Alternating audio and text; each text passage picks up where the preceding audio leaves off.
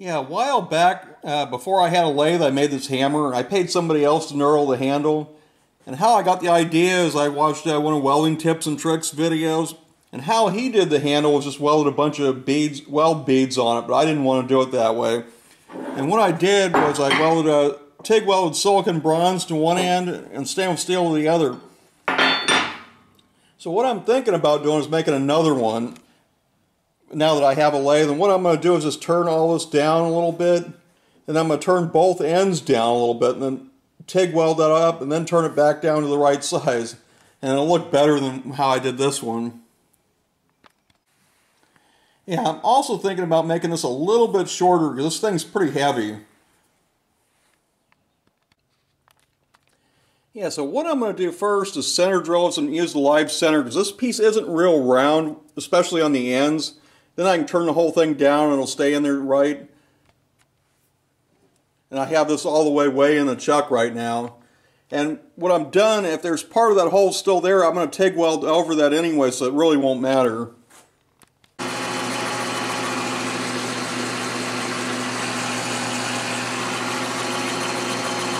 Yeah, this is just the first pass. I'll probably have to take two passes on this to get it where it's good.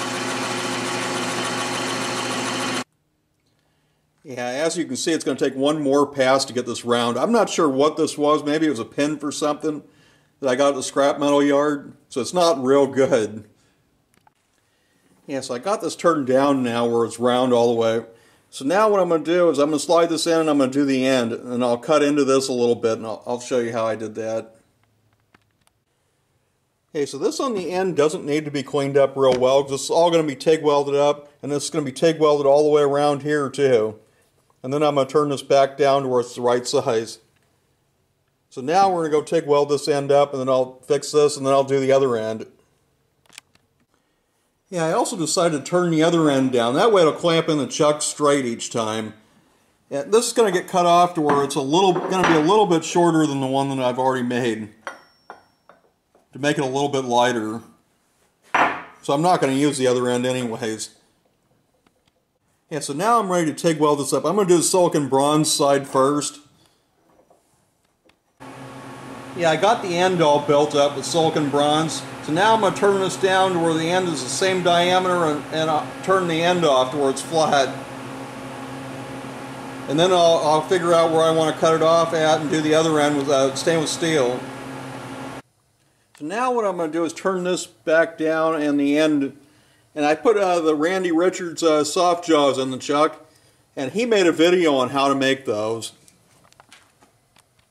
Yeah, so what I'm going to have to do is TIG weld this up a little bit more. Yeah, I missed some spots. Yeah, so I got this side done. So now I need to cut it off the length I wanted, and then I'll do the other side I'll use a ER309L rods on the head.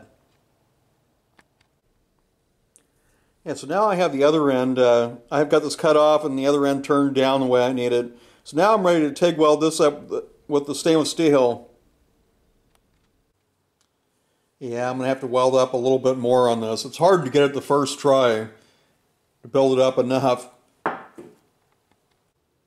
Yeah, so I got this piece done. There is a few tiny little marks in here. It just wasn't worth going back and welding this up for a third time. So now maybe tomorrow I'll make the other piece, the handle. Yeah, I just took my uh, backup welding helmet off the shelf. This helmet I've never used. It's been sitting on the shelf for years. The battery's bad in it too, so I'm going to replace that. And this is the one it uses. Yeah, and here's the Miller uh, part number. Yeah, so now I'm making the handle for this hammer, and uh, it's going to be about 13 inches long it's going to go into the head about an inch, so the handle will actually be about 12 inches long. And I use this Little Rock uh, knurling tool that I got uh, that I actually won at the Bar Z uh, Summer Bash. I think it was about two years ago, two and a half years ago. And it, it did a really nice job. Yeah, I just cut that off with a Scotchman uh, cold saw.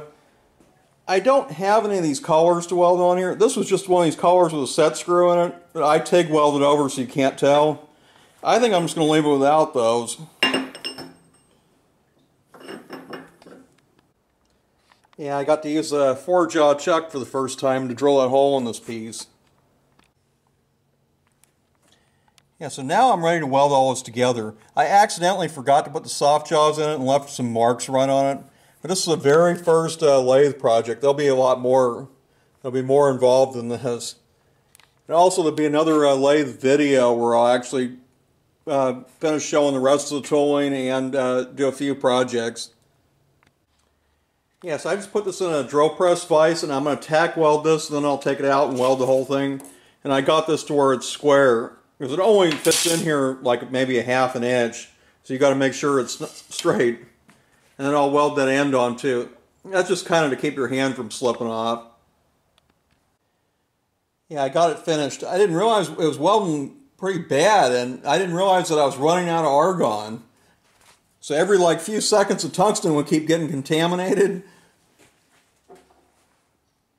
So it's not perfect, but it's just a hammer, so I guess it doesn't really matter. Yeah, I'll do a lot, a bunch more uh, lathe and uh, MIG welding uh, projects in the future, and I'm going to do a scheduled uh, upload on this. So when when it actually comes out, I'll be in Florida at a YouTube uh, wedding, probably the first one ever. I'll probably make a video from there. Yeah, a few other YouTubers will be there also.